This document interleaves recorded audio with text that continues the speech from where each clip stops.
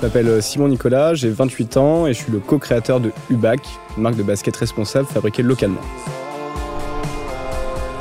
On vit un petit village à Saint-Nicolas-des-Biais, pas loin de Rouen. On s'est lancé en 2018 avec euh, la cofondatrice Mathilde. Avant UBAC, on avait un concept qui s'appelait La Pantouflerie, où on vendait que des produits fabriqués à base de laine.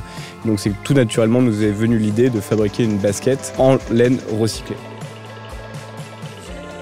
Les valeurs, c'est de trouver des matières toujours locales, responsables, de savoir avec qui on travaille aussi. On travaille avec des ateliers partenaires qu'on visite souvent. Notre vraie euh, volonté chez UBAC, c'est de toujours rechercher la matière la plus écologique et la plus locale qui soit.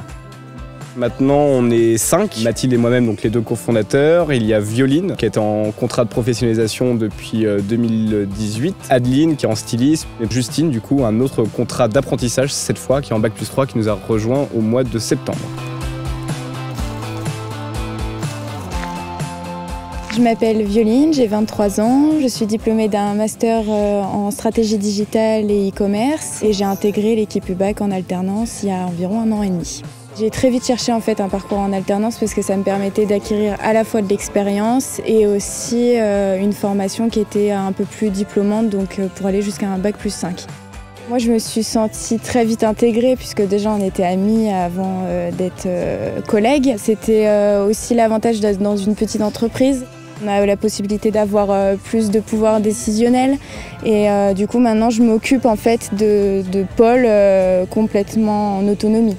Je m'occupe des réseaux sociaux, du site internet et de tous les partenariats et puis tout ce qui va être en fait euh, des tâches marketing euh, comme de l'emailing euh, et de l'acquisition.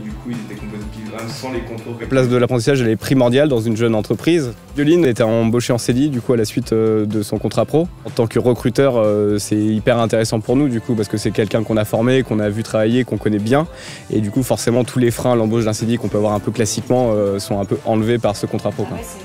De fil en aiguille, euh, on est arrivé au CDI et c'est vrai qu'aujourd'hui j'en suis plutôt fière puisque c'était pas quelque chose que je m'étais fixé, euh, surtout pour une start-up. Mais maintenant on se voit plus, je crois, travailler euh, séparément.